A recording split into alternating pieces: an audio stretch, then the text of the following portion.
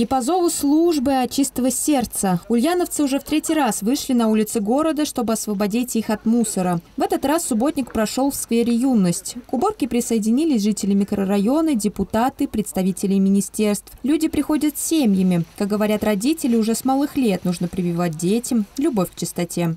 Вообще мы недавно переболели ковидом, и э, вот этот парк, он нас спасает. То есть мы реабилитируемся здесь, приходим, дышим каждый день.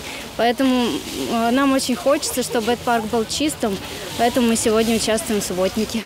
Благоустройством сквера начали заниматься еще в 2015-м. Работа велась с чистого листа. В 2018-м, благодаря инициативе жителей, парк начал преображаться. По программе «Народный бюджет» удалось выиграть 4 миллиона. Сейчас здесь установлены фонари, лавочки для отдыха, асфальтированы пешеходные дорожки.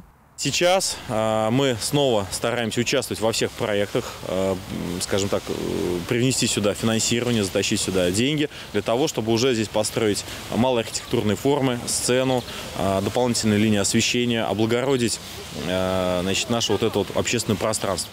На субботнике работали волонтеры, которые помогали активистам проголосовать за проекты по благоустройству парков и скверов. Места отдыха рассредоточены по всей области. В Ульяновске это скверы «Новое поколение» и Репина, парки «Молодежный», «Семья», «Дружбы народов» и «Парк Победы». Узнать подробную информацию, отдать свой голос можно на сайте 73горсреда.ру через портал госуслуги или с помощью волонтера.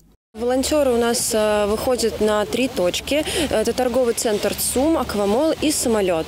Э, также дополнительно у нас открыты точки в колледжах и школах. Волонтеры приходят и собирают голоса. Проголосовать э, можно с помощью планшета, который будет у волонтера, а также по QR-коду. У каждого заявленного парка есть два дизайн-проекта. Какой именно будет реализован, зависит от количества голосов. На сегодняшний день в Ульяновской области проголосовало больше 8 тысяч человек. По нацпроекту «Жилье и городская среда» благоустройство начнется в 2022 году. Александра Никитина и Владимир Куликов. Улправда ТВ.